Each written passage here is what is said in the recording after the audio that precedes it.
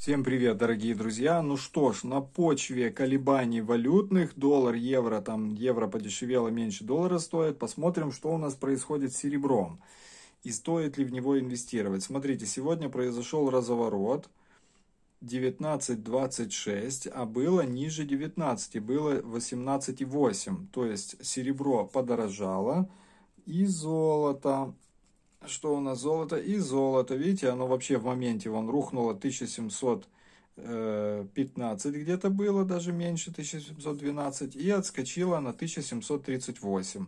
В целом по золоту идет боковичок, а серебро же чуть-чуть отскочило вверх. Стоит ли покупать сейчас серебро за ваши бумажки, доллар, евро, если вы очкуете и не знаете, что происходит с валютами?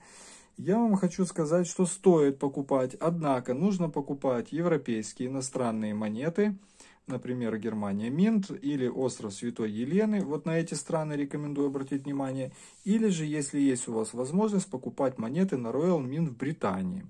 Все остальные монеты, это не особо я пока рекомендую. На днях я сделаю видео специально для вас, э, выберу новые 22 года инвестиционные монеты, которые стоит рассмотреть как инвестиции и даже купить их намного дороже, чем курс металла, потому что монеты коллекционные, тиражи до 10 тысяч штук, в принципе вполне красивые я бы даже сказал, очень красивые и стоящие для, ну, стоящие вашего внимания. Однако, мы спокойно, терпеливо ждем в Украине.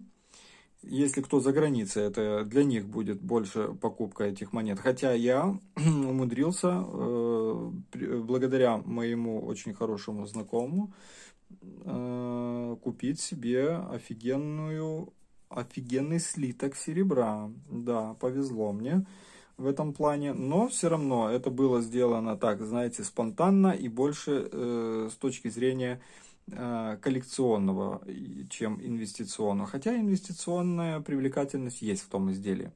В общем, наша задача, если мы покупаем серебро, то оно должно быть в форме монеты или какого-нибудь слитка, но представляющего коллекционный интерес. Просто инвестиции в серебро невыгодны, потому что сложно будет продать. Даже коллекционную монету не всегда легко продать с точки зрения именно э, как металл. Поэтому, дорогие друзья, вложение э, в серебро сейчас еще не совсем актуально.